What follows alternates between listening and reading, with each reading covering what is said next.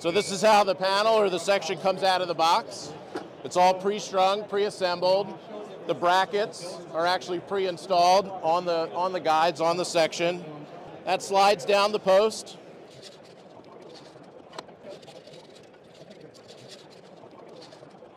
So there I've pre-strung my whole section of cable. Traditional cable rail, I would have had to thread each individual cable through.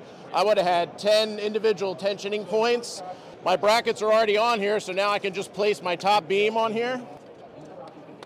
And inside this shuttle is a mechanism that's really similar to what's in a traditional cable fitting. It's a tooth and a spring, right? So the cable goes in and then the tooth won't let it come back out. Just pull as much slack as I can out by hand here.